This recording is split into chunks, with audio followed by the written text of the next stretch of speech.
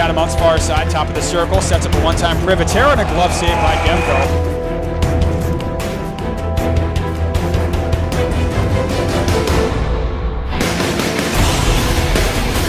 play. Cats have numbers here. Stenner feeding Markusen with that new stick. He shoots and a save. Demko.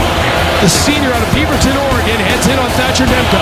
Luco, one-handed forward. Here's Luco, sprung into the zone in his forehand, kicks and a save by Demko. Huge save for Demko.